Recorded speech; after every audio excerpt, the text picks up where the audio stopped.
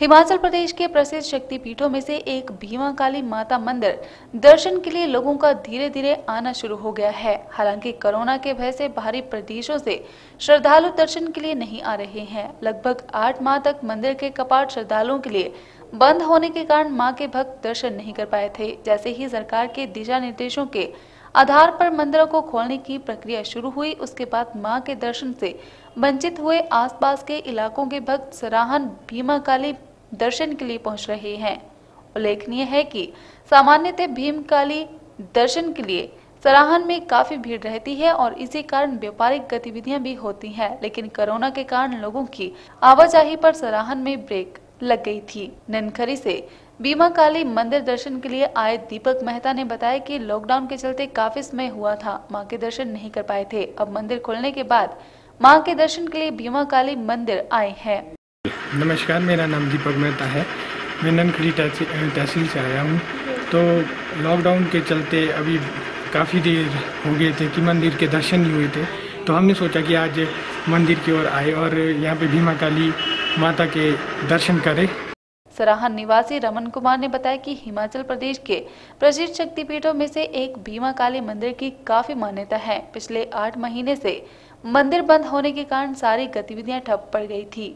सराहन मंदिर में दर्शन करने वालों की वजह से ही भीड़ लगती है। यहाँ देश प्रदेश के विभिन्न हिस्सों से लोग माँ काली दर्शन करने आते हैं। अब सरकार के दिशा निर्देशों के अनुसार मंदिर खुल गए हैं, लेकिन भीड़ काफ़ी कम है। श्री भीमा काली का मंदिर हिमाचल प्रदेश के ऊपरी शिमला के प्रसिद्ध मंदिरों में से एक है। कोविड 19 महामारी के चलते यो मंदिर लगभग आठ महीने बंद रहा। लेकिन अब गवर्नमेंट की गाइडलाइंस के अनुसार यह खुल चुका है। लेकिन उसके बावजूद भी यहाँ पर श्रद्धालुओं की भीड़ अभी नहीं दिखाई दे रही है। इसका मुख्य कारण कोविड बीमारी है। लोग आने से कतरा रहे हैं स्नान की ओर। व्यापारिक गतिविधि भी यहाँ पे बिल्कुल ज़ीरो हो गई है। मंदिर पुजारी हेम ने बताया कि 23 मार्च को भीमा काली मंदिर बंद हुआ था और उसके बाद 10 सितंबर को खुला है। लोग अब भी आने से कतरा रहे हैं। कोरोना का लोगों में भय है। हालात के अनुकूल नहीं है। बाहर से लोग बिल्कुल नहीं आ रहे हैं दर्शन के लिए। आसपास के इलाकों से ही लोग आ रहे हैं। मार्च को बंद हुआ था जी। तेईस मार्च को।